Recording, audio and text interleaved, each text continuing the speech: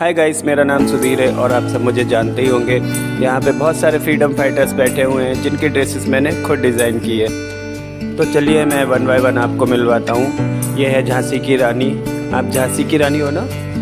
ये बहुत ही प्यारी बच्ची लग रही है गेटअप में। अभी आगे चलते हैं। ये है सरोजनी नायडू। थोड़ा पास में आइए। थोड़ा कैमरा पास में लाइए।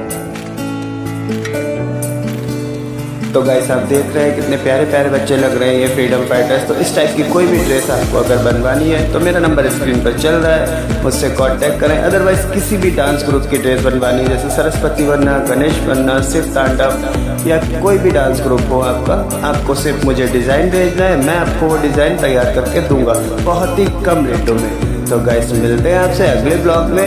तब तक के लिए बाय बाय